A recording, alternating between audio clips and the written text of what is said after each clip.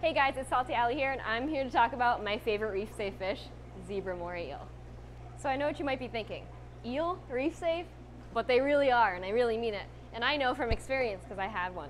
But zebra moray eels are the coolest things ever. They get big, so they need a nice big tank, but they do awesome in a reef tank, which is not like their other relatives like the snowflake eels and some of the other morays. These guys actually have rounded plate-like teeth. Uh, they have several rows of them on the top and bottom, but they are not meant for eating fish. They aren't sharp and pointed back like other morays. They're actually just rounded and plate-like, and that's actually for eating crustaceans and mollusks like they do in the wild. So they would eat crabs, hermit crabs, snails, uh, shrimp, but in your reef tank, they really don't touch any of that. Uh, now, this is a general statement that they're not all the same, but for the most part, they'll leave alone your cleaner shrimps and your fire shrimp, and they won't eat your snails.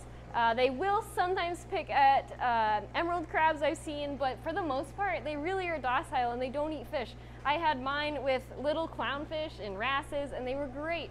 We have one here we just got in today or yesterday, and he is the coolest thing, and he's small too, so he's perfect for um, adding to your reef tank right now because he's not too big. But just keep in mind, these guys get big. They get five feet long. They are a moray eel after all. So just keep that in mind. Even though he's still only about 14 inches right now, he's going to get really big.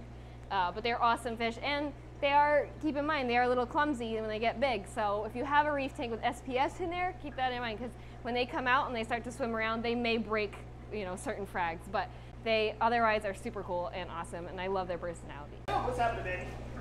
You like moray eels? I love moray eels, especially zebra moray eels. it's one of the coolest fish because you put it right inside with all your cool looking corals, inverts. It's just a happy eel. Nobody loves a happy eel. When I say nobody, I mean everybody. Everybody. well, I guess that's it. Scott shut off all the lights on me. Bye.